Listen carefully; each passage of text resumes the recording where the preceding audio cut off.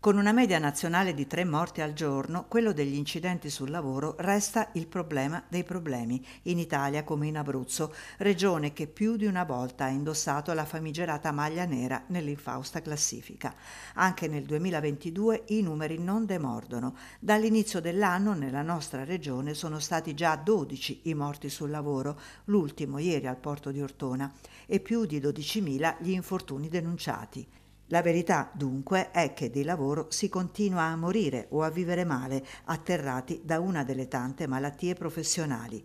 Per analizzare i dati e studiare le contromisure, i sindacati hanno più volte sollecitato l'istituzione di un tavolo regionale. Recentemente se n'era parlato anche nella trasmissione di Rete 8 I fatti e le opinioni. Oggi finalmente il tavolo c'è.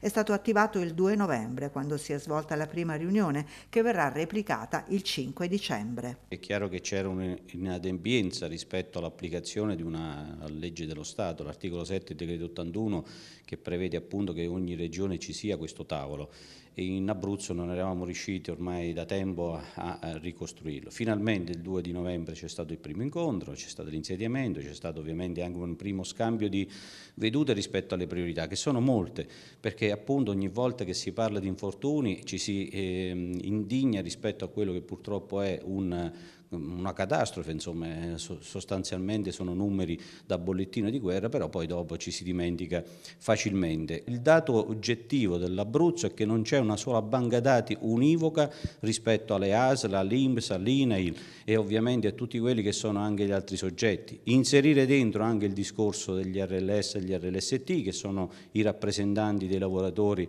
anche nelle piccolissime aziende, e provare tutti insieme ad avere delle priorità. L'informazione e la prevenzione degli infortuni deve diventare materia anche di dibattito a partire dai livelli scolastici, i lavoratori si formano da piccoli, la formazione deve diventare nel ciclo della vita lavorativa di una persona come alla pari di un qualsiasi insegnamento rispetto al lavoro che va a compiere, quindi prevenire è sicuramente meglio che curare.